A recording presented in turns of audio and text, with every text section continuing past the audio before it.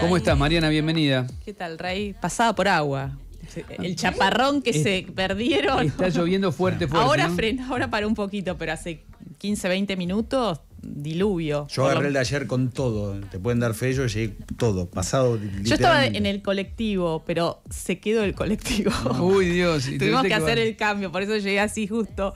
Eh, pero bueno, bien, Bueno. ahora ya no, no llueve tan, tantísimo, por lo menos por esta zona. No sabemos Bien, en otro claro. lado. Pero Amai- bueno. Amainó un poquito acá en la está, zona de está de- gris el de día. No sé cómo viene el pronóstico, pero pareciera Lluvia, que viene lluvia, para largo. ¿no? Sí, sí, sí, sí, va a llover fuerte. Bueno. Bien, ¿qué trajiste? Mira, un, un proyecto que está avanzando en el Senado que me preocupa y mucho y que preocupa mucho a quienes eh, trabajan con mujeres víctimas de violencia de género y, acompañando las denuncias de abuso sexual en las infancias.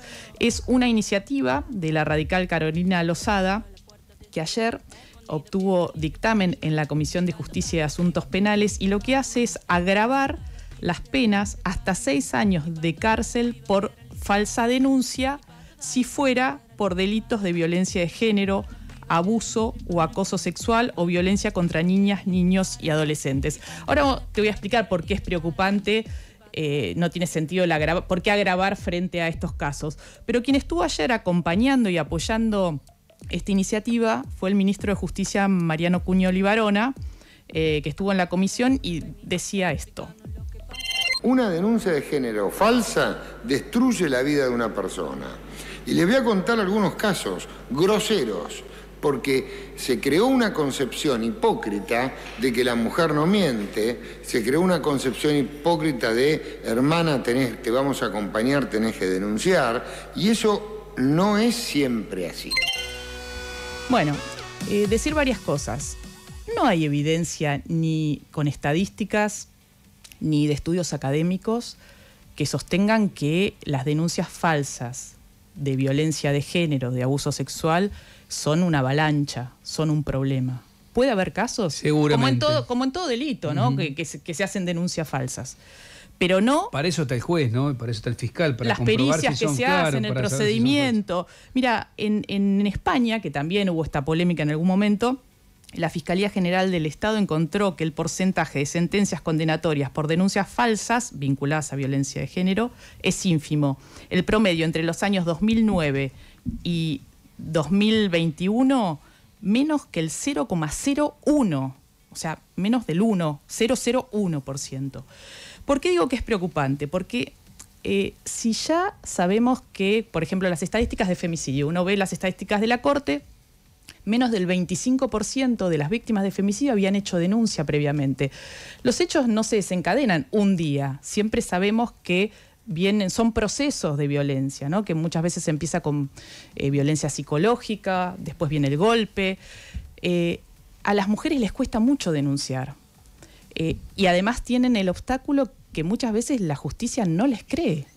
Entonces, instaurar un agravante con penas de hasta seis años de prisión. Para solamente los casos que tienen que ver con violencia de género y abuso sexual en las infancias, en las niñeces, es un despropósito.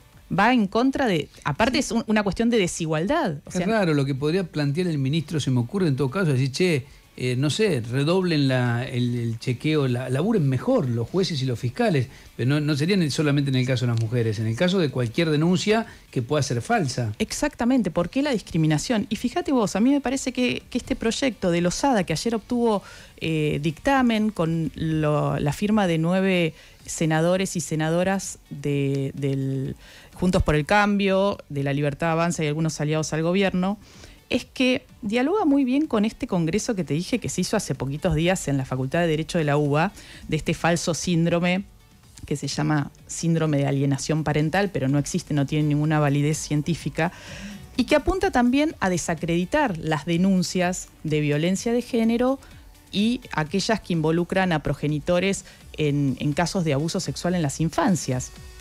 Dialoga muy bien con el desmantelamiento de las políticas de género. Eh, bueno, el lunes fue el 25 de noviembre, Día Internacional de Lucha contra la Violencia hacia las Mujeres. Circularon, se publicaron, yo publiqué también varios informes donde dan cuenta del desmantelamiento de las políticas, del vaciamiento de los programas, de la línea 144 ya no es una línea específica para violencia de género, sabíamos que era una política que había trascendido distintas gestiones, tiene más de 10 años y que ha funcionado y como política pública de asesoramiento, prevención, acompañamiento a víctimas muy bien. Bueno, no solo que eh, se ha quedado con muy poco personal, en algunas guardias tres personas, no hay tampoco videollamadas para mujeres hipoacúsicas, sino que cada vez tienen menor presupuesto y ahora ni siquiera es específica para, para víctimas de violencia. Sabemos que se han desarmado eh, el dispositivo que era tan importante como el acompañar, se pasaron de más de 40.000 eh, altas eh, el año pasado a poquita más de 400 este año. Es decir, hay una desprotección hacia las mujeres que son víctimas de violencia de género y frente a esto la amenaza de que podés, porque ¿cómo se va a evaluar si es falsa? Porque la justicia no prueba. Muchas veces sabemos que se ponen en juego los estereotipos de género que todavía están muy vigentes. No están haciendo ley Micaela, que justamente mm. apuntaban a desarmar eso, ¿no? Y entonces, muchas veces no se les cree a las mujeres. Esto de que yo te creo hermana siempre, en realidad es para.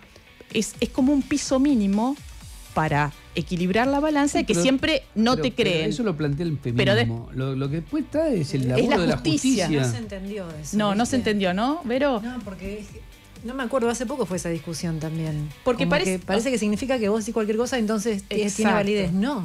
Mira, eh, en realidad lo que esta, esta idea del yo te creo hermana tiene que ver como históricamente la justicia ha descreído de la palabra de las mujeres por, los estereotipos. El, estereotipo de la mujer mendaz que miente para perjudicar, eh, que quiere sacar ventaja, que es, que es vengativa. Bueno, frente a eso, la justicia dice, bueno, porque si vos vas a denunciar que te eh, robaron el celular, nadie te hace una pericia psiquiátrica a ver si, si estás mintiendo que te robaron o no el celular, ¿no?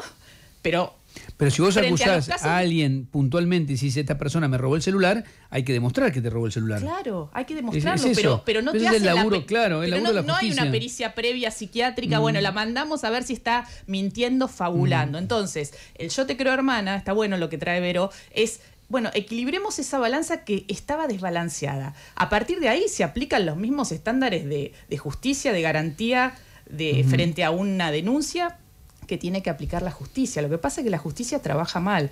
Y entonces, este tipo de proyecto, por eso lo traía y me parece muy preocupante, eh, Lozada pretende, eh, Carolina Lozada, la senadora radical que lo está impulsando, que ingrese en el temario de las extraordinarias. Bien. no sabemos si el gobierno va a llamar a extraordinarias, pero está negociando eso. Igual es singular, si bien no es lineal lo que voy a plantear y, obviamente puede tener una, respuesta, pero jugando con, eh, el juego de con el juego de, redes del, del, gobierno, de los libertarios, es curioso que planteen la falsa denuncia de violencia de género cuando no creen en la violencia de género. Exactamente. Mira, es, así todas las contradicciones y creo que lo que sí es, es peligroso porque sabemos que, eh, bueno, lo que va a hacer es desalentar las denuncias, desalentar que las mujeres recurran a la justicia, están silenciando. Y esto creo que me parece preocupante y que no se tome en cuenta eh, en el marco de, de un debate legislativo. Mariana Carvajal, en la inmensa minoría.